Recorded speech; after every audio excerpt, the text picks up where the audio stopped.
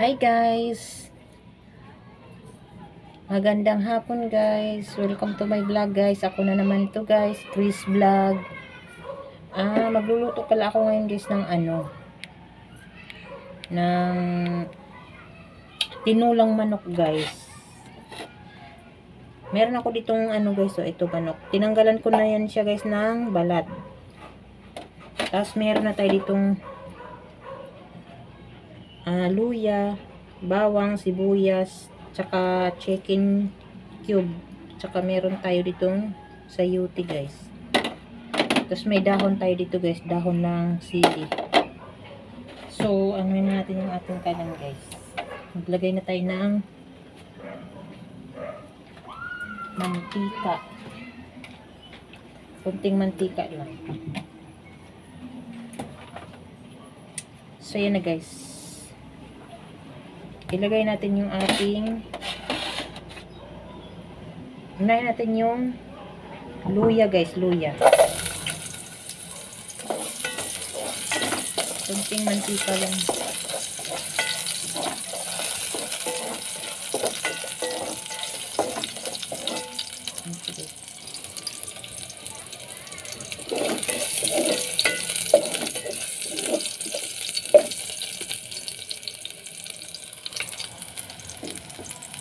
Sunod guys ating bawang.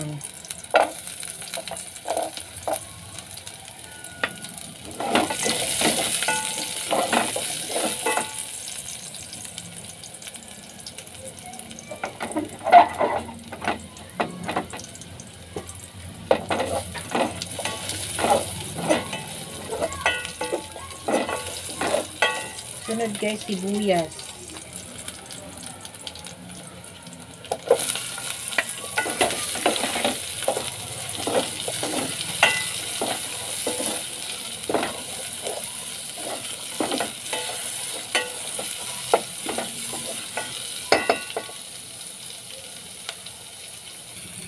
So, yan na guys. Ilagay na natin yung ating manok guys. Masarap kasi kumain ng tinula guys. Hindi matagal na kasi ako hindi nanood.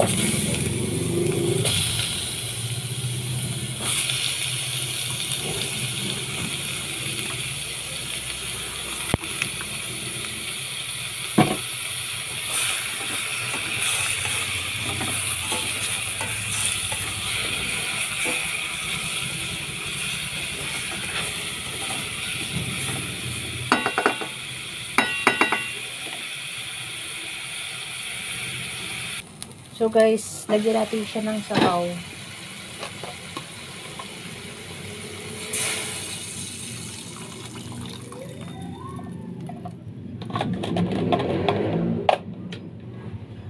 Lagyan natin siya ng sabaw guys. Huwag masyadong marami ng sabaw. So ilagay na natin guys yung ating ano guys. Palasa. Tapos ilagay na rin natin yung ating gulay guys. Sayuti. Yan, ilagay na natin guys para mamaya pagkulo. Maluluto na rin yung ano. So guys, titingnan natin guys. Yan guys, kumulo na siya guys ah ano natin guys, timplahan natin siya guys. Ang itimpla ko lang dito guys ay ano, patis. Lang. Patis lang ang akong itimpla guys.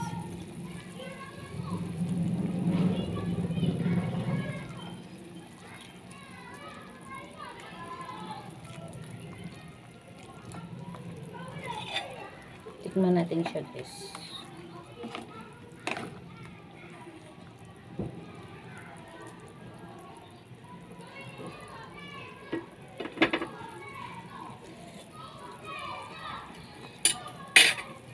Yun siya guys. So, palutuin na lang natin yung gulay guys. So, ayan na siya guys. Kulong-kulo na guys.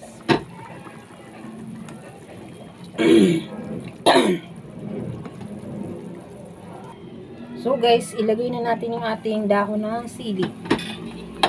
Ilagay na natin yung dahon guys.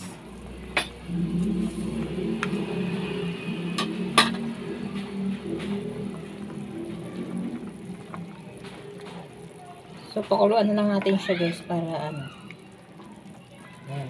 Tikman natin ulit guys.